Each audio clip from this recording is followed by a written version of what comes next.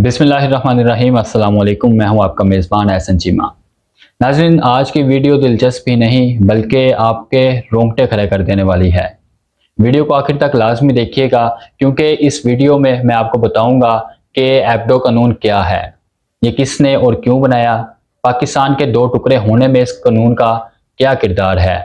और सबसे ख़तरनाक बात कि कहीं पाकिस्तान में दोबारा तो नहीं, यही तरीक दोहराई जा रही। इन सवाल के जवाब जानने के लिए और समझने के लिए आप मेरे साथ रहिएगा। नाजरीन, आगाज़ में एक मुख्तसर सा वाक़ सुनकर आप में दिलचस्पी और तजस पैदा होगा। कि पाकिस्तान के पहले मार्शल एडमिनिस्ट्रेटर व सबक सदर अयूब खान ने अपने सेक्रेटरी को हुक्म दिया कि उनके नाफिज करदा कानून एबडो की जद में आकर नाअहल हो जाने वाले सियासतदानों की बदअमालियों और बदनवानियों का खुलासा बनाकर उनके सामने पेश किया जाए। एपडो कानून के तहत नाअहल होने वाले बासठ सियासतदानों के किरदार खोदे गए तो उनमें से बदअमालियों और बदनवानियों की छोटी छोटी चूहियाँ बरामद हुई। सदर अयूब ने जब देखा कि नाअहल होने वाले सियासतदानों की बदअमालियाँ और बदनवानियाँ छोटी छोटी चूहियों के बराबर है तो इन्होंने नहायत हैरानगी और मायूसी से अपने सेक्रेटरी से पूछा, ये जफादार सियासतदान दुम दबाकर पा क्यों गए? इन सबने बहादरी, शुजात और दलेरी से एब्डो कानून का मुकाबला क्यों न लड़ा? सदर अयूब को जवाब दिया गया कि शायद मार्शल ला की सख्तियों से डर गए हों। या फिर अपनी इज़्ज़त बचाने के लिए अपने आप ही रिटायर्ड होकर बैठ गए हों। सदर अयूब ने नफी में सर हिलाकर कहा कि ऐसी बात नहीं। तुम्हारी फाइलें इनके जुर्म साबित कर पाए या ना कर पाए लेकिन पाकिस्तानी सियासतदानों के ज़मीर मुजरम हैं। ये बात हर पाकिस्तानी को बखूबी मालूम है। अब बात करते हैं कि पाकिस्तान के पहले फौजी हुक्मरान अयूब खान ने इकतदार पर कब्जा करने के चंद ही माह के बाद मार्शल जबते के ज़रिए इलेक्टो बॉडीज डिस्कालिफिकेशन ऑर्डर यानी एप्टो कानून क्यों नाफिज किया? नाजिन ये कानून दरअसल एक और कानून, पब्लिक ऑफ़िस डिस्कालिफिकेशन ऑर्डर यानी पूडो की तोसी था, जो सरकारी हुकाम और मुख्तलिफ़ दर्जों के अफसरों के एहतसाब के लिए जारी किया गया था। कोडो कानून की फहरिस्त में कुछ और जराइम तहरीबकारी किसी मखसूस नज़रिए का प्रचार, सियासी इसकाम को नुकसान पहुँचाने वाली कोई कार्रवाई इख्तियार का जान बूझ कर गलत इस्तेमाल या दनिस्ता बदअनमानी शामिल करके कानून का नाम बदल कर एप्टो रख दिया गया। इस कानून के तहत दो ट्रिब्यूनल वजूद में आए।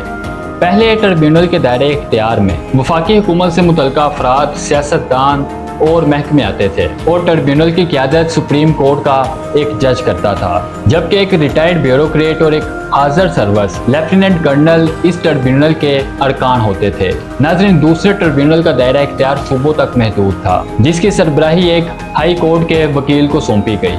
वफाक की तरह इस ट्रिब्यूनल में भी एक रिटायर्ड ब्यूरोक्रेट और एक हाजिर सर्वस लेफ्टिनेंट कर्नल को बतौर अरकान जिम्मेदारियाँ सौंपी गई। नाजरीन इस कानून में वाजिया किया गया कि अगर मजकूरा ट्रिब्यूनल में किसी मुलम पर इल्ज़ाम साबित हो जाएँ, तो मुलजिम आज खुद यकम जनवरी 1960 से 31 दिसंबर 1966 तक यानी आइंदा छः साल के लिए किसी भी सियासी अहदे के लिए नाअहल तस्वुर किया जाएगा। नाजिन पाकिस्तान के चंद मुट्ठी भर मुमताज़ सियासतदानों ने एप्टो कानून के तहत खुद पर लगने वाले इल्ज़ाम का डट का मुकाबला किया, जिन पर नाम नहाद फैसले मुसलत करके उन्हें नाहल कर दिया गया। जबकि पाकिस्तानी सियासतदानों की एक बड़ी तादाद ने मुकदमात का सामना करने की बजाय रजा कराना तौर पर नाअहली कबूल कर ली। नजरिन, उम्मीद है कि मेरी वीडियो के इस हिस्से ने आपके दिमाग में सोच पैदा करती होगी और आप वीडियो का बकिया हिस्सा पाकिस्तान की मौजूदा सियासी और अस्करी सूरत हाल का मुआजना करते हुए देखेंगे। तो चलें, आगे बढ़ते हैं।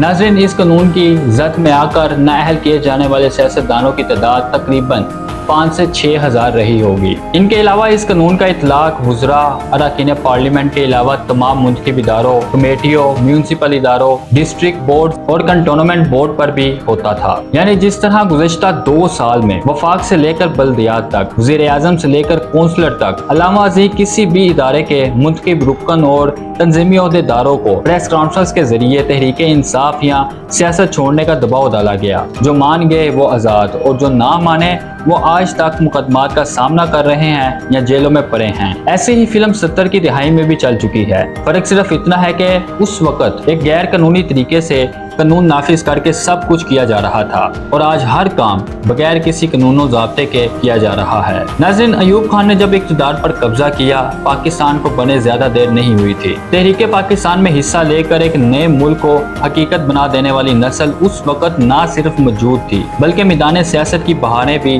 उन्हीं के दम से थी। पाँच से छह हज़ार की तादाद में से सिर्फ़ चंद सियासतदान ऐसे थे, जिन्होंने इस कानून के तहत लगाए जाने वाले इल्ज़ाम का सामना किया और इन्हें भी ज़बरदस्ती नाअहल कर दिया गया। इन मुठी भर सियासतदानों की फहरिस्त में तहरीक पाकिस्तान के नुमाया रहनुमा और सबक वजी अजम हुसैन शहीद सुहरवर्दी सबक वजी अला सूबा बहावलपुर मखदूम ज़्यादा हसन महमूद और सैसन एडवर्ड गब्बन शामिल थे, जो उन्नीस सौ पचपन ऐसी उन्नीस सौ अट्ठावन तक पाकिस्तान की कौमी असम्बली के डिप्टी स्पीकर रहे। इनके अलावा उनतालीस सियासतदान, जिनमें सबक वजी अजम फिरोज खान नून, यूसुफ हारून, मौजूदा चीफ जस्टिस काजी फायजीसा के वालिद और बलोचिस्तान से कायल अजम के नहायत बातमाद साथी काजी मोहम्मद ईसा नवाब इफ्तार हुसैन ममदूद मियाँ मुमताज़ मोहम्मद खान दौलताना पीरजादा अब्दुल सत्तार काजी फजलुल्ला पीर इलाही बख्श अयूब खोरो नवाब अकबर खान बुकटी सईदा आफ्ता हुसैन के वालिद कर्नल आबिद हुसैन खान अब्दुल कयूम खान नवाब मुश्ताक अहमद गोरमानी और मियाँ इफ्तारुद्दीन शामिल थे, जिन्हें जबरी तौर पर नाअहल किया गया। जिन सियासतदानों ने अपने खिलाफ एबडो कानून के तहत लगने वाले इल्ज़ाम का सामना किया, इनमें से छह सियासतदान बरी हुए, जिनमें मादर मिलत मोहतरमा फातमा जिना और शेख मुजीबुर रहमान भी शामिल थे। किस्सा मुख्तर मोरखिन लिखते हैं कि सदर अयूब के नज़दीक पाकिस्तान के तमाम सियासतदान नाअहल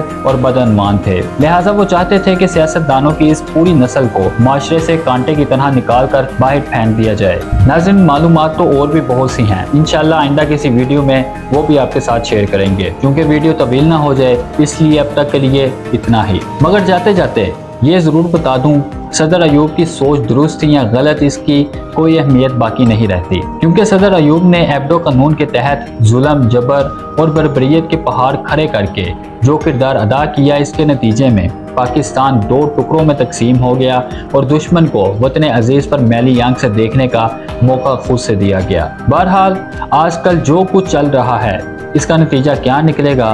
इसका अंदाज़ा लगाना नागजीर है। मौजूदा हालात का मुकाबला किसने और कैसे करना है? इसका फैसला 24 करोड़ अवाम के अलावा ना तो कोई कर सकता है और ना ही किसी के पास इसका इख्तियार है। मैं अपने मुल्क की सलामती के लिए दुआगो हूँ। अल्लाह पाक हमारे वतन को तमाम बहरानों से निजात फरमाए। आमीन। अल्लाह हाफिज़।